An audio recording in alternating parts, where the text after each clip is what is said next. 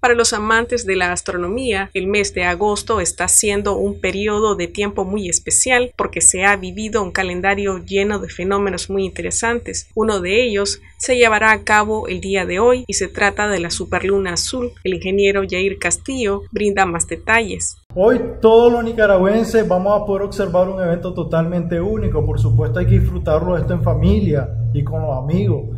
¿Por qué? ¿Qué es lo que sucede? ¿Por qué es tan evento tan esperado para toda la comunidad científica astronómica. Porque sucede que se están dando prácticamente dos eventos en uno, se podría decir. ¿Qué sucede? La, la superluna azul.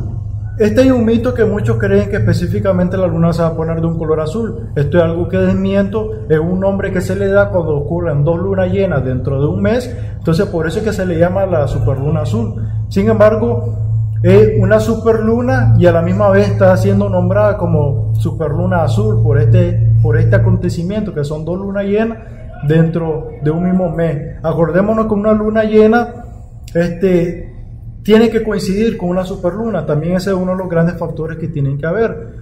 Ahora, este evento vamos, lo vamos a poder observar un 14% más brillante de nuestro satélite natural llamado Luna y por supuesto lo vamos a ver más grande de lo normal, que por eso es una superluna.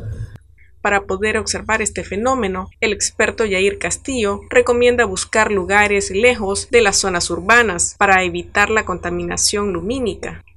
Nosotros estamos entre dos distancias, que está el perihelio que es el punto más acercado que tenemos con nuestra luna, y el apogeo, que es el punto más alejado que tenemos con nuestra luna. Aproximadamente se cree que vamos a estar a unos 363.300 kilómetros aproximadamente de nuestro satélite natural llamado Luna. Así que vamos a estar en el punto más acercado para tener una super luna y es un evento que no nos podemos perder, así que se le hace la invitación a todos los nicaragüenses que podamos observar este fenómeno natural.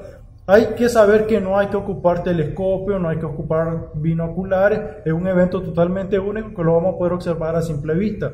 Así que los invito a que no se pierdan esta fantástica oportunidad. Para Noticias 12, Gloria Campos.